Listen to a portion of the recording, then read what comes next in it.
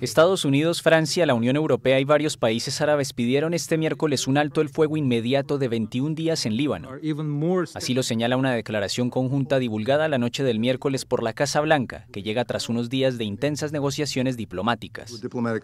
Esto a raíz de los ataques entre Israel y Hezbollah que amenazan con envolver a Oriente Medio en una guerra total, el mayor temor manifestado por la comunidad internacional en la Asamblea General de la ONU.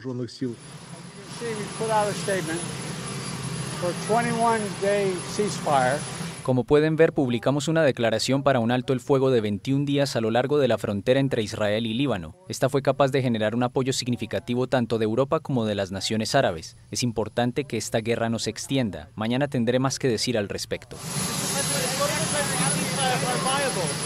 Estados Unidos, Francia, la Unión Europea, Australia, Canadá, Alemania, Italia, Japón, Arabia Saudita, Emiratos Árabes Unidos y Qatar firman la declaración, que señala que es hora de alcanzar un acuerdo diplomático que permita a los civiles de ambos lados de la frontera regresar a casa sanos y salvos.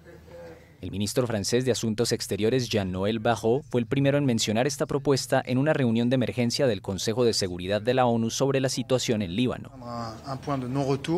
La guerra n'est pas inéluctable. Une solution diplomatique est possible. La guerra no es inevitable, una solución diplomática es posible. En los últimos días hemos trabajado con nuestros socios estadounidenses en una plataforma de alto el fuego temporal para permitir las negociaciones. Esta plataforma se hará pública muy pronto y contamos con que ambas partes la acepten sin demora.